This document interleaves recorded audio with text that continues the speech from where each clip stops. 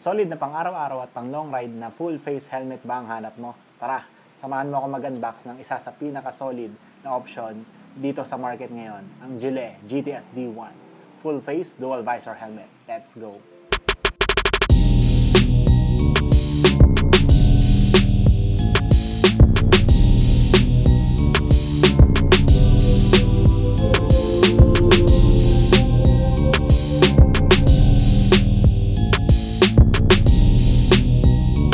Box ng Gillette GTS V1 helmet. So, unbox muna tayo. Tingnan natin kung ano yung laman niya. Tapos check natin kung bakit isa siya sa pinaka-competitive na helmet ngayon sa market. No? Sabi ko kanina sa intro, kung naghahanap kayo ng solid na helmet option, na pwede nyo gamitin for long ride at versatile din siya para pang gamitin nyo pang araw-araw. So, yun, check natin kung papasok ba yung Gillette GTS V1 sa hinahanap mo. No? Dito pa lang sa box, makikita nyo na yung kanyang mga specs. So, meron siyang quick release visor lock, anti-UV visor, anti-scratch visor, top vent, rear spoiler, inner visor switch, soft rubber trim. Alright. Expertly crafted for safety. Ang Gillette ay designed in Italy.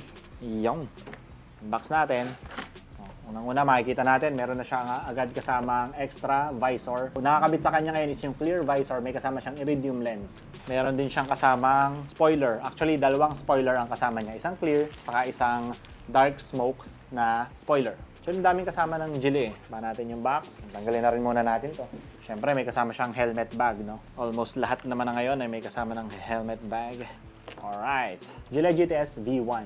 Meron tayo ditong matte black pero napakadami ng color options ng Gillette. Sa mono, meron siya mga white, red, gray, mga, mga chameleon colors na rin. Tapos sa graphics na rin, napakadami nyo na rin pamimilian. Hindi tayo maubusan ng uh, color options at graphic options pagdating sa Gillette GTS V1. So yun, meron din siyang kasamang manual at keychain. Kakulay nung helmet nyo. No? So yun, tara, discuss natin kung ano yung mga safety features, uh, certifications, and specs ng Gillette GTS V1 helmet na kasama natin. No? Uh, bago natin simulan lahat yung kanyang looks, uh, features, visors, etc. Lagi natin umpisahan sa consideration sa paghahanap ng helmet is yung safety standards niya. So paano man natin malalaman kung safe ang helmet? Check natin kung certified siya ng iba't ibang safety standard regulations globally. No? Pagdating dito sa Gillette, kung makikita nyo dito sa likod, indicated dito kung ano yung mga certifications na naipasa niya uh, DOT FMVSS 218. DOT is from American Standard. Pagdating sa American Standard, pasok siya, nakakuha siya ng certifications doon. Meron din siya mga pinagdadaanan, test para mapatunayan na pasok siya doon, standard na yon. Same with ECER 2206. So, sa European standards naman yun. So, again, for American and European market, pasok siya. Sa Pilipinas, di ba, usually yung hinahanap natin is yung ICC sticker, no? Pagdating dito, makikita natin is yung PS mark. Ah, BPS, PS mark. So, ang ginawa ng Philippine ah, safety officers natin, imbis na dito nila i-check pagdating ng product, sa planta pa lang kung saan ginagawa yung Gillette, pumunta na sila doon, chinek nila yung process, kung paano ginagawa yung helmet, chinek na rin nila yung safety standards doon. Nung nakita nila na pasok yung standards, ine-engrave na nila yung PS mark dito sa likod ng helmet, kesa dun sa pagdating pa lang ng helmet, saka pa lang lalagyan ng sticker. Medyo mas tumatagal yung proseso ng paglabas kasi ng ano, helmet sa market. So ngayon, meron na siyang PS mark from BPS. Mas mabilis na siya, no? Dahil nga dun sa mga naipasa niyang ah, certifications dun sa iba't ibang safety regulatory boards, nagkaroon siya ng award from Q Asia. Q Asia award siya for Best Durable Motorcycle Riders Helmet Brand. Meron siyang seal. Seal of Quality Excellence. I think Gillette was introduced back in 2020. Pero meron na agad siyang awards for safety standards. Pagdating sa safety, mapapagkakatiwalaan talaga natin ang Gillette sa brand. no? Punta naman tayo sa features. Kung nabanggit nga natin, Italian design. From Italy ang design ng Gillette helmets natin. Kaya kita nyo yung brand niya. oh. Italian colors. Gawa siya sa advanced polycarbonate na material. Kung mapapansin natin, ang Gillette GTS V1 compared sa ibang helmet, mas maliit yung shell niya. Advantage nun, napababa nila yung weight. Ang weight nito is size XL na to ah, 1450. Kaya kahit size XL siya, kung mapapansin nyo, maliit lang yung shell niya. Ang maganda doon, napababa nila yung weight, mas magagamit mo siya ng mas matagal. Meron siyang vents dito, functional vents sa baba, dito sa taas. Then meron siyang exhaust dito kung saan uh, ilalagay natin yung spoiler natin mamaya para makita nyo. Or ilagay na natin para makita nyo yung uh, itsura ng Gillette GTS V1 natin ng may spoiler. Nabanggit ko nga, meron siyang kasamang uh, dalawang spoiler. Pipili ka na lang. Yung isa medyo clear. So, ang ilalagay natin. Ano bang mas pogi? Para mas gusto ko itong medyo mas clear. Yun, so madali lang naman ikabit yung spoiler. Meron na siyang patamaan doon. Yun, tatama mo lang siya. E-press mo lang.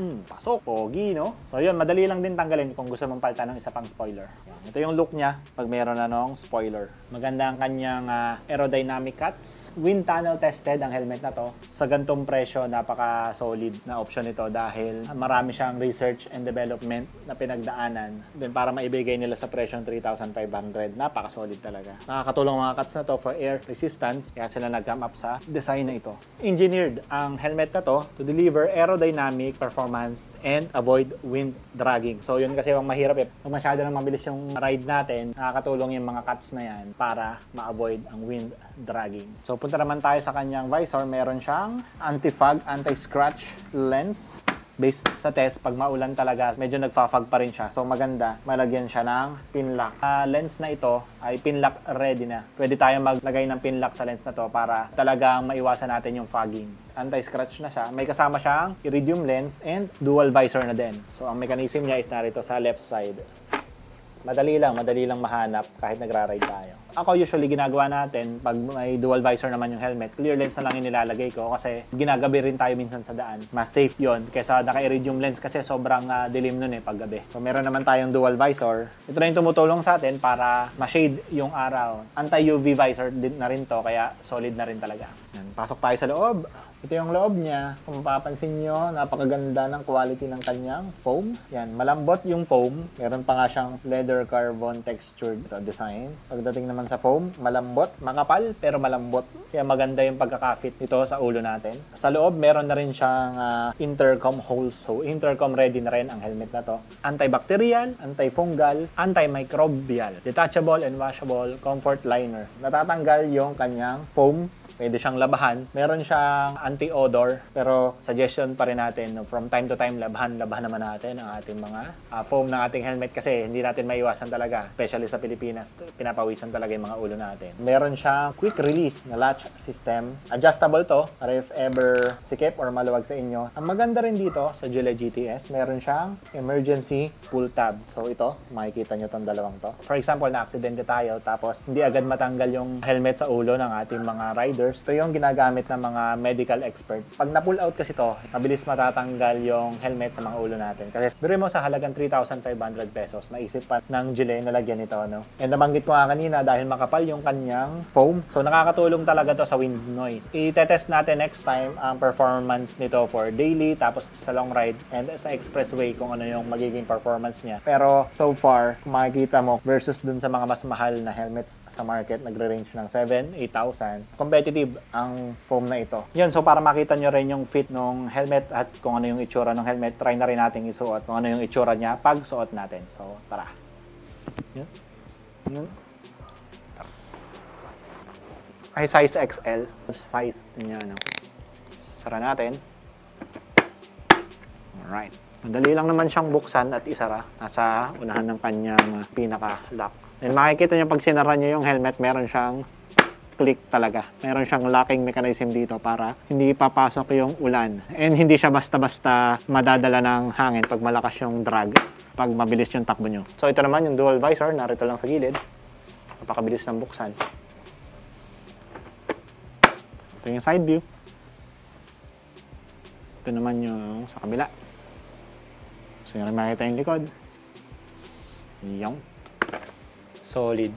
Ayun, napaka-pogi ng helmet, no? Hindi siya ganun kalaki, hindi siya ganun ka-intimidating gamitin. Saktong-sakto yung size niya para sa akin. Pang gamit for daily rides, pang long ride na rin kasi maganda yung foam niya sa loob eh, makapal. Sigurado ako maganda ang wind noise performance nito compared dun sa iba niyang competition din sa market. Yun, to wrap things up, no? Sa mga naghahanap ng high quality helmet para sa kanilang daily rides, mga long rides, pero yung swak lang sa budget mo, around 3,000 to 5,000 range, isa ang Gillette GTS B1 sa mga dapat yung i-consider. Maganda ang kanyang shell construction, maganda ang kanyang size, magaan, yun ang pinaka isa sa mga nagustuhan ko sa kanya, magaan yung helmet na to, pero sigurado ko hindi compromise yung safety ko dahil DOT ECE and BPS certified to, dual visor pa, no? Kaya solid na solid. Yun, visit lang kayo sa NA Gillette dealers nationwide para makapag-fit kayo ng proper size nyo dito sa helmet na to. Kung ito man yung mapili nyo, hindi kayo magsisisi. Ayun, visit nyo rin ang Mooncycle Moto Shop. Official dealer din tayo ng Gillette, Helmets PH sa kanilang mga helmets at iba pang product. At pwedeng pwede nyo rin pong i-fit ang mga helmets natin doon ngayon kasama na ang Gillette GTS V1 para malaman nyo rin ang proper fitting sa inyo. Meron naman tayong mga helmet guides para sa sizes ng ulo natin for specific helmets pero pinakamaganda pa rin at pinaka-safe pa rin is ma-fit natin yung helmet kasi kahit gaano karaming certifications niyan, kung hindi ka naman komportable sa helmet na gamit mo, eh medyo mas delikado pa yun. No? Pinaka-safe pa rin helmet is yung pinaka-komportable kang